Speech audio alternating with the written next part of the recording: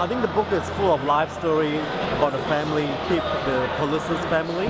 So, um, and it shows a lot of um, the, the, the, story of Australia, how Australia came about, the, the discovery process of Australia, and um, it gets me into understanding uh, the migration of the Dutch family to here and all the struggles and all the, um, the best things that they enjoy from the boat travel all the way to when they descend to the land of Australia. Hello everyone. I am Liz, Keith's sister, and uh, it is a great pleasure to welcome you here today to the uh, launch of The Trek.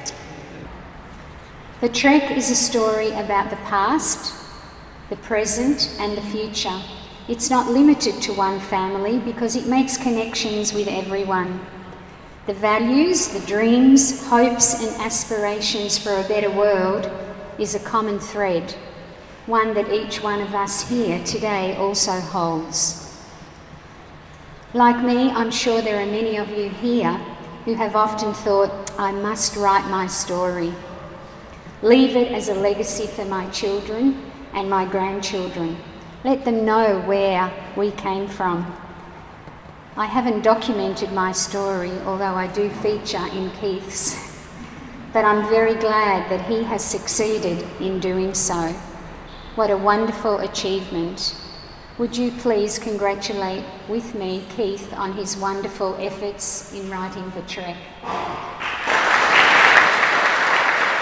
Thank you so much for coming uh, to the launch of The Trek. I am deeply honored. And there's so many people here that I really want to thank uh, for their encouragement there's been many Facebook uh, friends that I've met for the first time here today, and they would encourage me on Facebook. Then there are many, many people at my School of Languages, all the students that came. But it's a story about Australia.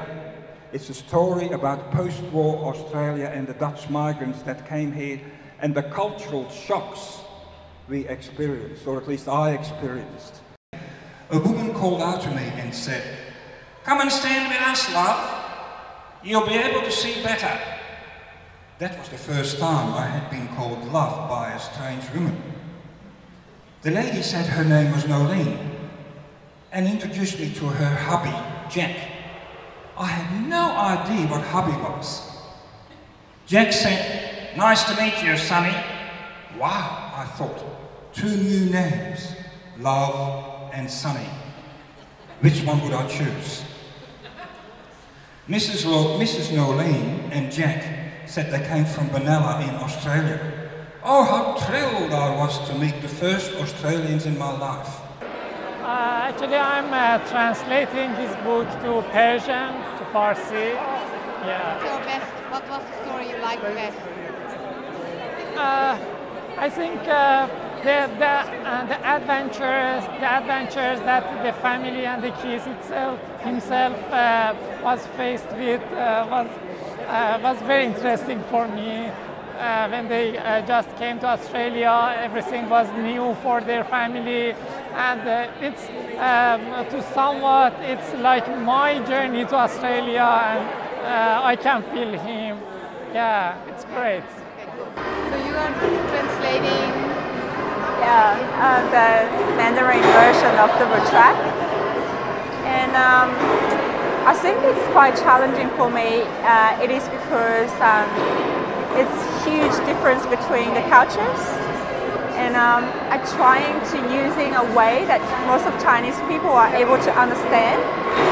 Why? Also, I, um, I try not to uh, translate in my own voice. Yeah. I try to stand backwards and maybe from the case, uh, his perspective and towards the stories. Um, ik ben uh, vertrek aan het vertalen naar het Nederlands. Ja, het gaat uh, langzaam maar zeker gaat het voort. Um, het is heel interessant, omdat um, heel veel dingen die hij tegen is gekomen 50 jaar geleden van over Australië, die kom ik nu vandaag nog de dag nog steeds tegen van Ehm, de, de, intonatie bijvoorbeeld van het Engels. je leert op school leer je het Brits Engels of het Amerikaans Engels, maar het Australisch is zo anders bijvoorbeeld. and I'm uh, I'm I was I'm pretty sure uh, uh, I'm pretty sure I can be, I I can know about Australia from his book. This is the reason why I, I bought. I think that as a student in humanity, I really need to be much more familiar than I am now with the history of Australia, but not the official narrative of history, but also the real, factual, and actual history, which is narrating by a, an ordinary person like me, that I know him and I know all his uh, kindship and uh, and I actually, I must say that I found uh, the true meaning of multiculturalism in the way that Kate behaved with my family uh, when my actually my when my husband arrived here in Australia. Uh, it was such a gift in our life. I mean, the, the way that Kees was treating us, and uh, I'm really excited to read the Australian historical narrative in Kees' voice. yeah.